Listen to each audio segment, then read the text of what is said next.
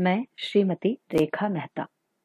आज की मेरी पाठ योजना है हिंदी गद्य साहित्य का विकास और गद्य की विधाएँ। हिंदी गद्य साहित्य का विकास आधुनिक युग की देन है। हिंदी साहित्य के विकास को दो रूपों में बांटा गया है, पद्यात्मक विकास और गद्यात्मक विकास। जैसा कि हम जानते हैं, पद्य अर्थात काव्य या कविता, और गद्य अर्थात कहानी, एकांकी, नाटक निबंध, इत्यादि। गद्य किसे कहते हैं? गद्य अर्थात छंद विधान एवं लय के बंधन से मुक्त रचना गद्य कहलाती है। हमारी पाठ्यपुस्तक में गद्य की विभिन्न विधाएँ संकलित होती हैं, जैसे कहानी, निबंध, जीवनी, संस्मरण, रेखाचित्र इत्यादि। तो आज हम इन्हीं गद्य विधाओं पर विस्तार से बात करेंगे।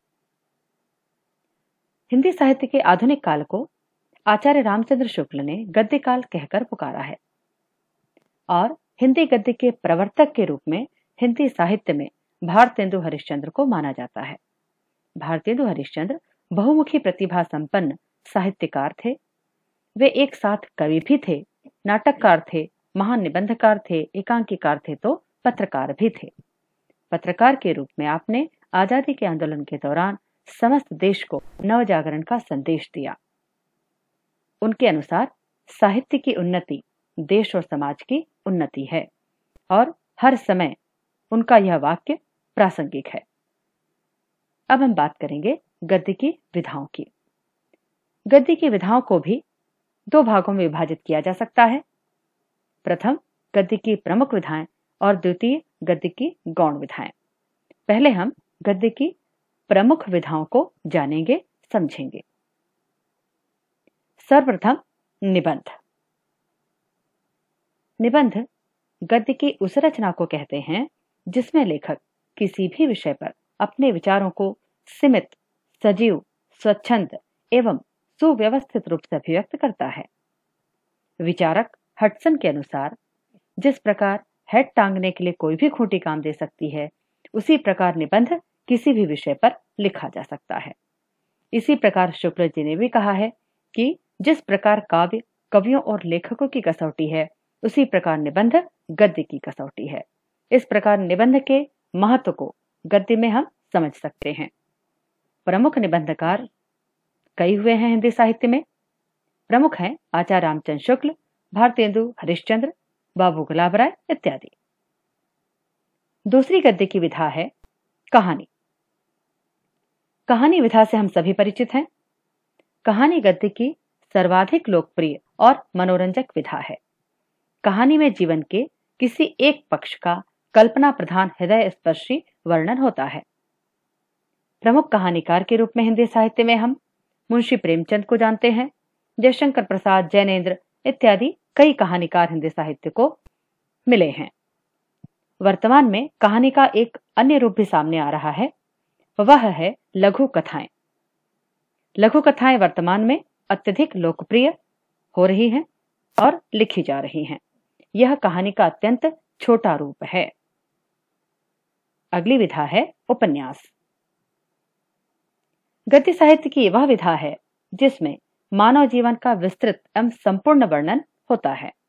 उपन्यास में युगीन प्रवृत्तियों को चित्रित किया जाता है। लेखन का विषय प्रायः सामाजिक होता है, ऐतिहासिक, राजनीतिक, मनोवैज्ञानिक, पौराणिक, आंचलिक, जासूसी, क्रांतिकारी, कोई भी विषय लिया जा सकता है या होता है। उपन्यास भी हिंदी साहित्य की एक लोकप्रिय और प्रचलित विधा है।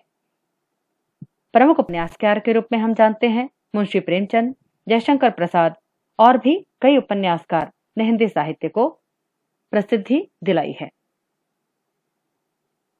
अगली विधा है नाटक। हिंदी में नाटक लिखने का प्रारंभ पद्य से माना जाता है।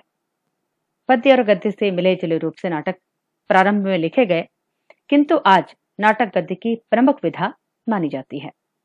नाटक का आकार बड़ा होता है, साथ में प्रासंगिक कथाएँ होती हैं, नाटक में पात्रों की संख्या अधिक होती है गद्य की यह दृश्य विधा है। मंच पर नाटक को अभिनित किया जा सकता है। प्रमुख नाटककार के रूप में भी हम भारतेंदु हरिश्चंद्र और जयशंकर प्रसाद को मानते हैं और भी कई नाटककार हिंदी साहित्य में हुए हैं। अगली विधा है एकांकी। एकांकी जैसा कि नाम से ही प्रतीत हो रहा है, एक अंक वाले नाटक को एकांकी कहा जाता है। एकांकी में जीवन के किसी एक खंड को प्रस्तुत किया जाता है। एकांकी, नाटक की अपेक्षा आकार में छोटी होती है। पात्रों की संख्या भी एकांकी में कम होती है। यह भी एक दृश्य विधा है और रंगमंच पर प्रस्तुत की जाती है और आकार में छोटे होने के कारण अधिक लोकप्रिय है। प्रमुख एकांकीकारों के नाम हैं रामकुमार वर्मा, जगदीश चंद्र माथुर उदय शंकर भट्ट, ऐसे कई नाम लिए जा सकते हैं। इस प्रकार गद्य की प्रमुख विधाएँ हुई। अगले वीडियो में हम गद्य की गौण विधाओं पर बात करेंगे।